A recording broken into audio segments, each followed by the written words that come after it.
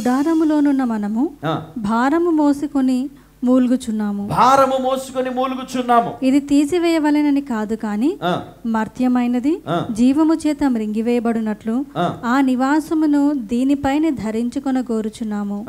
దీని నిమిత్తము మనలను సిద్ధపరిచిన వాడు దేవుడే. దీని నిమిత్తము మనల్ని సిద్ధపరిచిన వాడు దేవుడే. మరియు ఆయన తన ఆత్మ అను సంచకరువును. మనకు అనుగ్రహించి ఉన్నాడు ఏం మరియు ఆయన తన ఆత్మను సంచకరువును మనకు అనుగ్రహించి ఉన్నాడు. వెలిచూపు వలన కాక వేలు చూపు వలన కాక విశ్వాసము వలననే నడుచుకొనుచున్నాము. చూడండి ఇక్కడ ఏమన్నాడు ఒక మాట? వేలు చూపు వలన కాక అంటే ధర్మశాస్త్రం వలన కాక విశ్వాసము వలననే.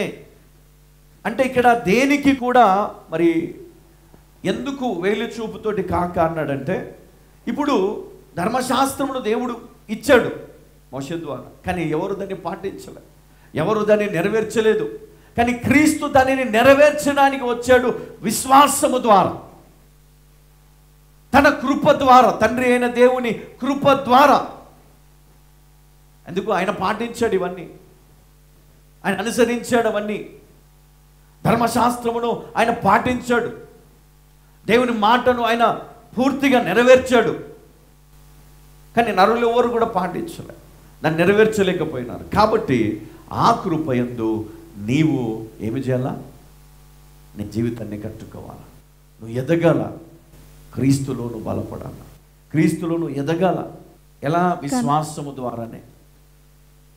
నమ్ముట నీ వలనైతే నమ్మువానికి సమస్తం సాధ్యమే. అని చెప్పి నువ్వు ఏం చేస్తావు అన్నిటిని చేయిస్తాను అనుకుంటావు కానీ నీ జీవితంలో ఆ చీకటి అనేది తొలగిపోతే కానీ నీ జీవితంలో ఆ విశ్వాసం పని చేయదు అలలోయ విశ్వాసం ఉంటే సరిపోదు.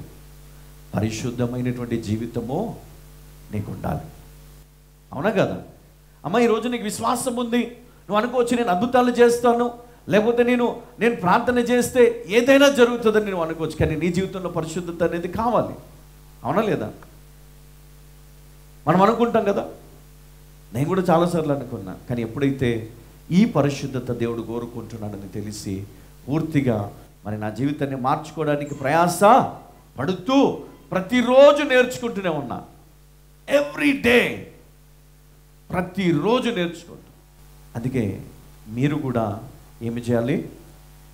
ఆయన కృప ద్వారా నేర్చుకుంటూ మీరు ఎదుగుతూ దేవునిలో బలపడుతూ ఉండాలి. తర్వాత కనుక ఈ దేహములో నివసించుచున్నంత కాలము కనుక ఈ దేహములో నివసించుచున్నంత కాలము ప్రభువునకు దూరముగా ఉన్నామని ఎరిగియుండియు ఆ, ఎల్లప్పుడూ ధైర్యము గలవారమై ఉన్నాము. చూడండి ఇక్కడ ఏం వింటున్నాం మనం ఇక్కడ? ఏం చదువుతున్నాము? గనుక దేహములో నివసించుచున్నంత కాలము ప్రభువునకు దూరముగా ఉన్నామని ఎరిగియుండియు ఎల్లప్పుడూ ధైర్యము గలవారమై ఉన్నాము. ఎందుకు ఈ మాట అన్నాడు? ఈ దేహంలో మనం నివసిస్తున్నాము. కానీ దేవునికి దూరంగా ఉంటున్నాం. అయినా ధైర్యము కలిగి మనం ఉంటున్నాం. ఎందుకు? ఎందుకంటే తప్పకుండా మనము ఆ నివాసమును మనం ధరించుకుంటామనే నిరీక్షణ మన లోపల ఉంటుంది. కదా? ఎంతమందిలో ఉందో లేదో తెలియదు కానీ కానీ దేవుని అందు భయభక్తులు కలిగి ఉన్న వారు మట్టుకు ఖచ్చితంగా ఆ నిరీక్షణ కలిగి ఉంటారు. ఎస్ నేను ఈ లోకములో ఉన్నంత కాలము నేను అది పొందలేనేమో కానీ నేను ఒకవేళ నేను దేవుని దగ్గరికి నేను వెళ్తే ఈ శరీరాన్ని విడిచిపెడితే గనక తప్పకుండా నేను పరలోకానికి వెళ్తానని నిరీక్షణ మనకు ఉంటుంది. అది కొంతమందికి ఉంటుంది. అందరికీ ఉండదు. కానీ ఈరోజు అటు నిరీక్షణ నీకుందా? అట్టి విశ్వాసం నీకుందా? అలాంటి విశ్వాసములో నువ్వు ఉండాలా? అలాంటి నిరీక్షణ నీకు ధరించుకొని ఉండాలి. హల్లెలూయా. చదవమ్మా. ఇట్లు ధైర్యము కలిగి ఈ దేహమును విడిచిపెట్టి ప్రభువునొద్ద నివసించుటకు ఇష్టపడుచున్నాము? కావున ఇట్లు ధైర్యము కలిగి ఈ దేహమును విడిచిపెట్టి ప్రభువునొద్ద నివసించుటకు ఇష్టపడుచున్నాము. ఆ, కావున దేహమందునను దేహమును విడిచినను. ఆయనకి ఇష్టలమై ఉండవలెనని చూడండి మనము దేహమందు ఉన్ననో దేహమును విడిచిపెట్టిననో ఆయనకి ఇష్టలమై ఉండవలనని మిగులు మిగులు అపేక్షించు- అపేక్షించుచున్నాము. హలలోయ వారి ప్రయాసం వారి భారం ఏంటంటే ఈరోజు ఈ శరీరంలో అంటే ఈ పాప శరీరంలో ఉన్న మనము మనం తప్పకుండా మనము క్షమించబడతాము తప్పకుండా మనము క్రీస్తు మహిమ చేత నింపబడతాము పరిశుద్ధమైన జీవితాన్ని మనం జీవిస్తాం అంటే ఒకవేళ ఈ శరీరం ఎంతమంది అయితే బాప్తిజం తీసుకున్నారో. ఇప్పుడు చూడండి మిమ్మల్ని ఆ నీళ్ళలో ఆ ట్యాంక్లో కానీ ఆ చెరువులో కానీ మిమ్మల్ని ముంచేటప్పుడు ఏం జరుగుతుంది? మొదట నీవు ఈ పాప జీవితాన్ని కలిగి ఉంటావు. ఎప్పుడైతే క్రీస్తు నామములో నీ పాపములన్నిటిని ఒప్పుకొని క్రీస్తు మహిమలో నీవు ఎప్పుడైతే క్రీస్తుతో కూడా చనిపోతావో అంటే ఇంక నేను నా జీవితంలో ఉన్నటువంటి ప్రతి మరి పాపానికి శరీర సంబంధమైన ఈ లోక సంబంధమైన వాటికి నేను ఫుల్ స్టాప్ పెట్టేస్తున్నాను. ఇక మీదట నేను బ్రతికిదంతా కూడా క్రీస్తు నిమిత్తమే ఆయన మహిమ నిమిత్తమే ఆయన కొరకు సాక్షిగా బ్రతుకుతాను ఆయన కొరకు నిలబడతానని ఏం చేస్తారంటే ఆ నీళ్ళలో బాప్తిజం తీసుకున్నప్పుడు క్రీస్తుతో కూడా చనిపోయి నీళ్ళలో ముంచినప్పుడు పాతి పెట్టబడుతూ పునరుత్థాన శక్తితో అంటే కడగబడతాడు. పవిత్రపరచబడతాడు.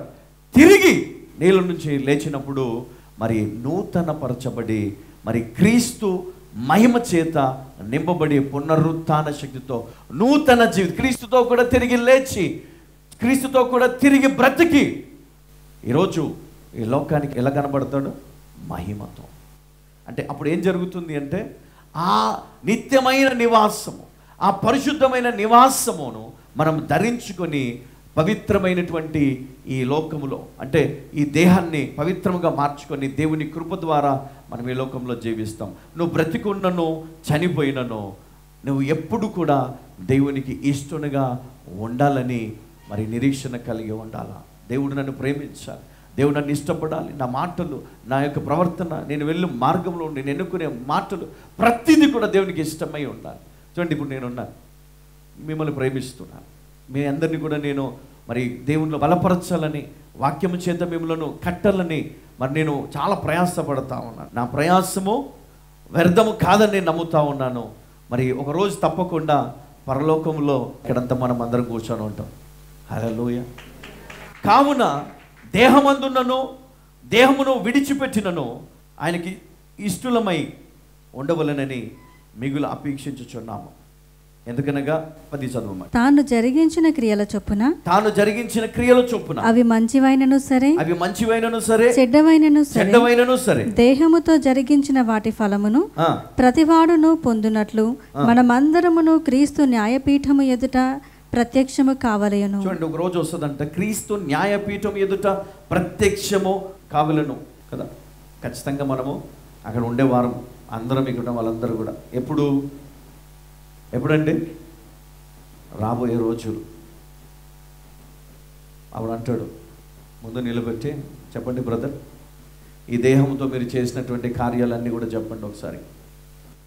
మీరన్నీ మీరు చేసినవి కాకుండా వేరే చెప్తూ ఉంటారు కానీ వెనకాల బోర్డు పైన పెద్దగా అక్షరాలతోటి చూపిస్తూ ఉంటాడు అనమాట అక్కడ ఎల్ఈడీలు ఇవన్నీ కూడా అడ్వాన్స్ టెక్నాలజీ ఉంటాయి. హలలోయ అన్నీ కనపడుతూ ఉంటాయి. విత్ వీడియోస్ అనమాట నువ్వు ఇక్కడికి వచ్చి ద్రాక్షరసం తీసుకొని రొట్టె విరిచి తిని నువ్వు బయటికి పోయి చేసే కార్యాలన్నీ అక్కడ స్క్రీన్ మీద కనబడతా ఉంటాయి. నువ్వు సాట్ సాట్గా మాట్లాడిన అన్నీ కూడా కనబడతా ఉంటాయి. నువ్వు ఇతరులను తిట్టిన అన్నీ కనబడతాయి. కదా? నువ్వు ఎవరిని తిట్టావు? ఎవరిని అసహించుకుంటున్నావు? మంచిగా చెడుక? మరి ఇవన్నీ కూడా కనబడతా ఉంటాయి ఇక్కడ అప్పుడు దేవుడు మరి ఏం చేస్తాడంట? క్రీస్తు న్యాయపీఠం ఎదుట ఖచ్చితంగా మరి తీర్పు అనేది ఉంటుందని మరి మనమందరం కూడా గ్రహించాలి. దీని నుంచి ఎవరు తప్పించుకోలేరు. అందుకని ఈ దేహము పవిత్రపరచబడాలి. అందుకే ఈ దేహము దేహములో ఉన్నా దేహంలో లేకపోయినా నువ్వు బ్రతికున్నా చచ్చిపోయినా కూడా దేవునికి ఇష్టంగా మనం బ్రతకాలి ఈ లోకంలో. ఆయనకు ఆయాసకరంగా మనం బ్రతకకూడదు. ఎందుకంటే ఆయన ప్రజలందరూ ఆయనను ఘనహీనునిగా చేశారు. ఘనత లేకుండా చేశారు. ఆయన నమ్మలే. తండ్రి అయిన దేవుడు ఆయనకి ఇచ్చిన జ్ఞానమును బట్టి ఆయన చేసిన అద్భుతాలను బట్టి ఎవరు వాళ్ళు డైజెస్ట్ కాలేదు. కొంతమంది అంతే కదా సొంత అన్న సొంత చెల్లె అక్క మామ లేకపోతే తమ్ముడు వీళ్ళు కొంచెం ఎదిగిపోతూ ఉంటే అభిషేకం. అస్సలు నచ్చదు వాళ్ళకి. కానీ అట్లాంటి మనసు మనం తీసేసుకొని పరిశుద్ధమైన మనసుతో ప్రతి ఒక్కరిని ప్రేమించే వారముగా మనలో మనం ఎప్పుడు కూడా తగ్గించుకునే వారముగా ఉన్నప్పుడే అయ్యా మీకు నేను ఏది చెప్పినా మీరు పరలోకానికి వెళ్ళాలని కానీ మిమ్మల్ని ఖండించాలని కానీ మిమ్మల్ని నేను ఏదో అనాలని కానీ నేను ఎప్పుడు అనను. ఎందుకంటే మీ పొరపాటు మీరు గ్రహిస్తే నిజంగా నేను చెప్తున్నాను మీ మీ విశ్వాసమునకు మీ నీతికి అడ్డుగా ఉన్నటువంటి ఈ క్రియలన్నీ కూడా తొలగిపోతాయి. హలలోయ మీకు తెలుసో తెలియకో అందులో మీరు పడిపోయారు. కాబట్టి అందులో నుంచి మనం బయటికి రావాలి. చూడండి ప్రయాసము. క్రీస్తు ప్రయాసపడ్డాడు. తిరిగి వచ్చాడు కానీ అక్కడ ఫలితం లేదు. ఘనత లేదు. ఇక్కడ చూడండి ఆయన శిష్యులు అపోజులు వీళ్ళందరూ కూడా మరి ఎంతో గొప్ప సేవ చేస్తారు కానీ అందరూ కూడా ఒకరిద్దరు తప్పితే మిగతా వారందరినీ కూడా భయంకరంగా వారు చంపేశారు. అత సాక్షులు